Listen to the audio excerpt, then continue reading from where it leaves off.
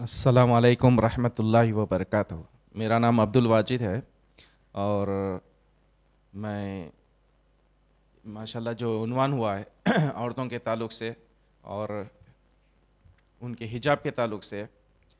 इससे रिलेटेड तो नहीं है बिल्कुल फिर भी एक सवाल मैं रख, रखना चाहता हूँ इसके अंदर कि जब अल्लाह के नबी सल्लल्लाहु अलैहि वसल्लम को जहनुम का नज़ारा दिखाया गया तो वहाँ पर जो है ज़्यादा तादाद औरतों की देखी बोले अल्लाह के नबी सल्लल्लाहु अलैहि वसल्लम।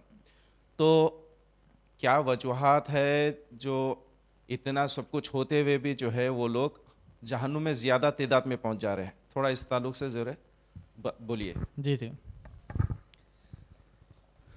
भाई का सवाल है कि जो भी ख़वातीन नबी अकरम सल्लल्लाहु अलैहि वसल्लम ने कहा कि मैंने जहन्नम में जब देखा तो मैंने देखा कि वहाँ पर जो है, ख़वातीन, तादाद बहुत ज़्यादा है।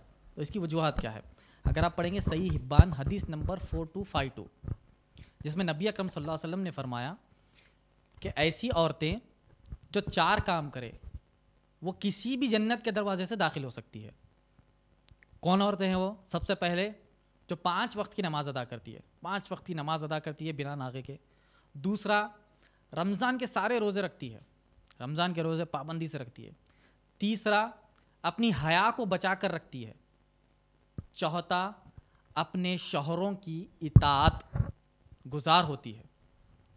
तो ये चार सिफतें अगर खातून के अंदर है तो नबी अकरम सल्लल्लाहु अलैहि वसल्लम ने फरमाया कि वो जहन्नम वो जन्नत में जाएगी। अगर चार चीज़ें नहीं है तो नहीं है तो उसका ऑपोजिट वो जहन्नम में जाएगी। और एक एक हदीस में नबी अकरम सल्लल्लाहु अलैहि वसल्लम ने फरमाया कि उसी हदीस के ज़िमन में जिसमें आपने सवाल किया, नबी अकरम सल्लल्लाहु अलैहि वसल्लम ने कहा कि वो जन, जहन्नम में ज़्यादा उनकी तादाद इसीलिए है क्योंकि वो शोहरों की नाफरमानी किया करती थी और नाशुक्री थी। शोहर जितना भी करके लाओ, जितना भी करो, उसके लिए जितना भी करो, उसकी जितनी भी देखभाल करो, उसका जितना भी उसके ख्वाहिशात पूरे करो तो वो कहती हैं कि बस इतना ही है क्या? शोहरों की नाशुक्री करना।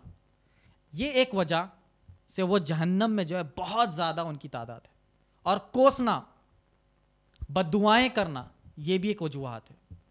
हदीस में बताया गया है, सही हिब्बान, हदीस number four two five two में, कि इस तरीके से अगर जहन्नम में नहीं जाना है तो चार चीज़ें करो तो जन्नत में जाएँगे। चार चीज़ें नहीं करेंगे तो जहन्नम में तुम्हारा ठिकाना है। और ज़्यादातर ख़वातीन जो जहन्नम में रहेंगी, वो अपनी शोहरों की नाशुक्री करेंगी।